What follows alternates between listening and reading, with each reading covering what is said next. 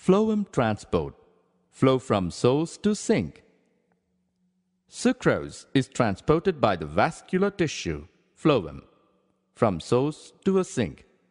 Source is the part of plant which synthesizes food, leaf. Sink, the part that needs or stores food. Source and sink may reverse depending on the season. Sugar stored in the roots may be mobilized to become a source of food in the early spring when the buds of trees act as sink. They need energy for growth and development of the photosynthesis apparatus. Since the source sink relation is variable, the direction of the movement of phloem can be upwards or downwards, that is bidirectional. Food in phloem sap can be transported in any required direction so long as there is source of sugar and a sink able to store or remove the sugar. Phloem sap is mainly water and sucrose, but other sugars, hormones and amino acids are also transported or translocated through phloem. Pressure flow or mass flow hypothesis.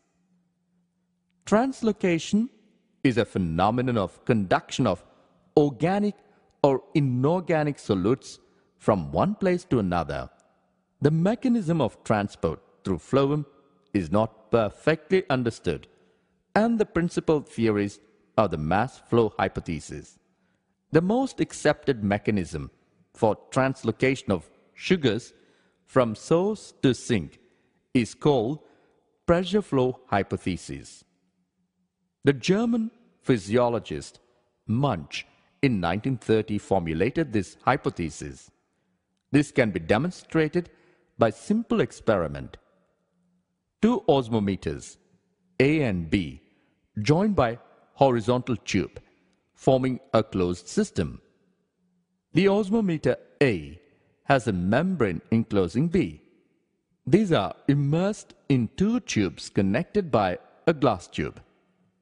Water enters both the osmometers, but more water enters into A than B due to higher concentrated solution existing create greater suction force. But as turgor pressure increases in osmometer A, water will move through horizontal tube X into osmometer B. Since the membrane is permeable only to water, water will be pressed out of B. So circulation of blood takes place from the tube in which B is present into the tube in which A is present through the connecting tube Y. A continuous mass movement will take place until the osmotic concentrations in both A and B are equalized. If there is a continuous supply of solute to A and a continuous removal of solute from the receiving osmometer B, there will be a continuous pressure flow from A to B. Thus, pressure flow continues when one of the cells is a supplying cell and the other is a receiving cell. Comparison of the model.